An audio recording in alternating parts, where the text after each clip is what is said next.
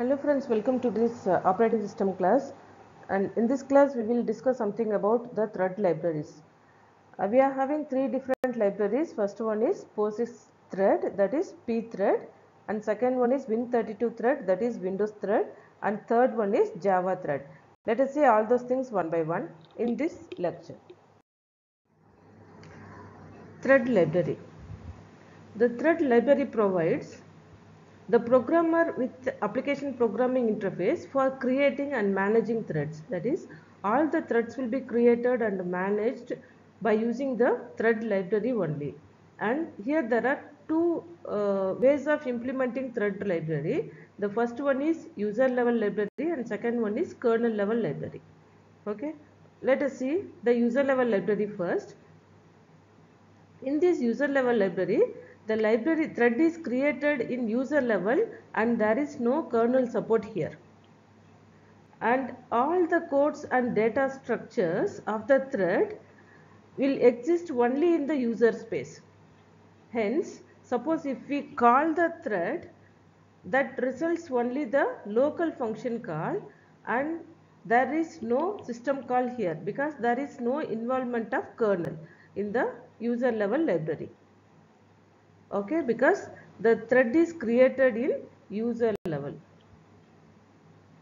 This is user level and this is kernel level. The thread is created only in this area and it will execute only in the user level. So there is no interaction between the kernel here. And the second uh, type of library is kernel level library.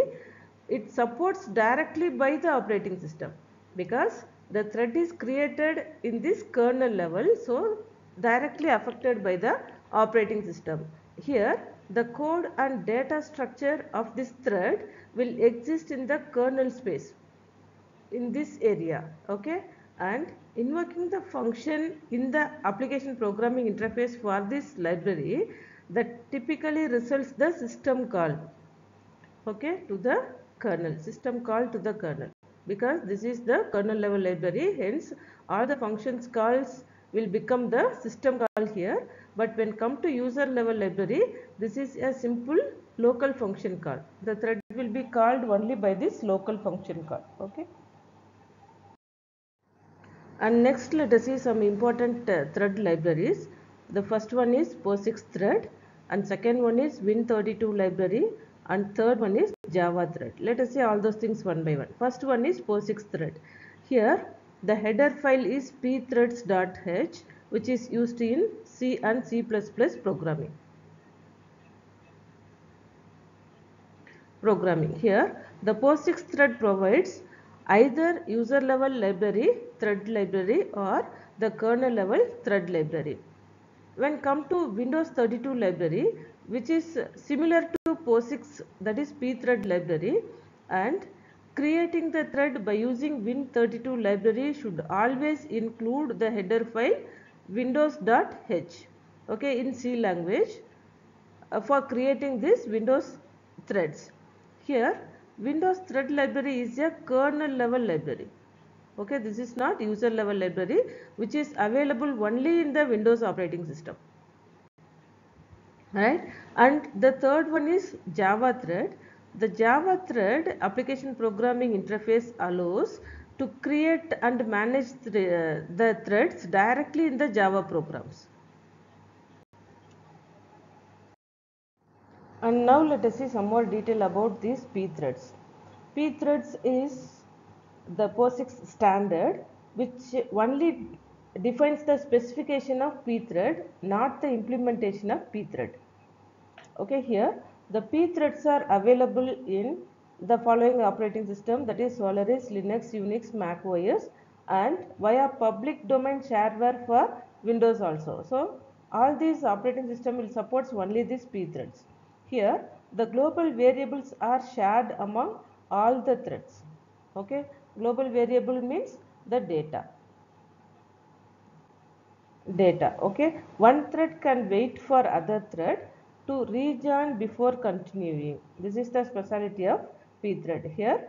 Pthread begin execution in the specified function. For example the runner function.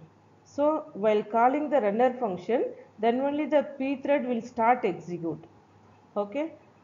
For uh, create the pthread will not start the execution that is will not create the pthread but we have to use the start start function then only the thread is actually that is logically created and the pthread.h is the header file which is used in C language for uh, the pthreads.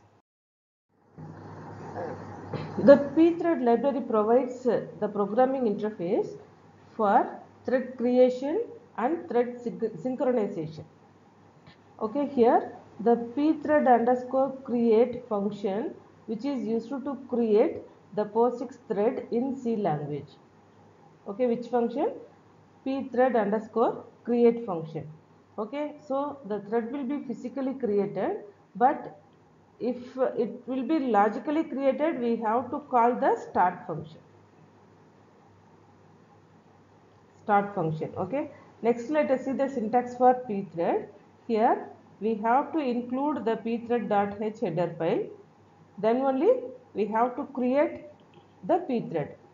Okay. And int pthread underscore create. What is the purpose of this one? To create the POSIX thread of pthread underscore t which is specify the thread id and constant pthread attribute that is for attribute and void of routine and void of arguments which will used for giving arguments for this thread. Okay? First we need to specify the thread id and next uh, attributes. And if there is any arguments to be passed for this thread then we have to give here. From this syntax first let us see this routine. Routine is here. Okay? Routine is a function which will execute when the thread is created. Okay once the thread is created then this particular function will get executed. The parameters here the parameters return value and input are void. See everything are void only. Simply we are going to create one plain thread. And next one is thread id thread id is here. Okay thread id uh, assigning a unique id for the thread. If it is null then no thread is returned right? And next one is attribute. Attributes are here. The attributes of thread will be assigned here. If it is null then no attributes are assigned. And next one is arguments. See here list of arguments are here. The actual arguments will be assigned here. The default value will be passed during execution see if we give any value here that will be passed as a default value while executing this particular thread. And next one is return value. Next one is return value. Return value is here. The integer is the return value. If it is if returns 0 means the thread is succeeded and if there is any value then it will be failed. Okay so this is the syntax of pthread and now let us see some of the pthread functions. The first one is pthread exit. Exit function is used to terminate the current thread function. And next one is pthread kill which is used to send a specified signal to specified thread which is to be terminated. Okay we have to terminate a specified thread then we have to use this pthread kill function. And next pthread join function which is used to uh, that is wait for termination of some other thread. Okay then only the current thread will get joined. Okay these are some of the pthread functions. The next is windows thread that is win32 thread. In windows thread the library is the kernel level library which is available only on the windows operating system the main functions are similar to pthread that is the syntax is almost same as pthread the header file is windows.h and here create thread function is used to create the thread. Here all the attributes are similar uh, like pthread along with the pthread we have additionally security stack size and flag flag is used to indicate the current state of that thread okay? See in addition to this p thread attribute we have to include the security stack size and flag for this windows thread. If flag value is 0 then the thread is suspended. And the third one is java thread. Here the jvm that is java virtual machine will run on the top of host operating system. Hence the java thread will be the user level thread. Here the windows operating system. Suppose if we develop a program by using windows operating system then the thread will be implemented by using win32 api api means application programming interface. Suppose if we create the java thread by using linux or unix operating system then we have to use pthread library. Okay when come to java programming there is at least one thread of control. That means if there is a main method then one thread is executed or started okay? There are two different methods are there to creating a thread in the java program. The first one is thread class okay? Import thread class and override its run method. This is the first method of creating thread. And second method is define a class and implement the runnable interface to it. Okay by using this runnable interface we can create thread. And this second method is only the most common method to use to, to be create a threads. That is the java threads up to this we have seen the three important thread libraries. First one is POSIX thread that is pthread and second one is win that is windows 32 thread. And third one is java thread. And this is the question time.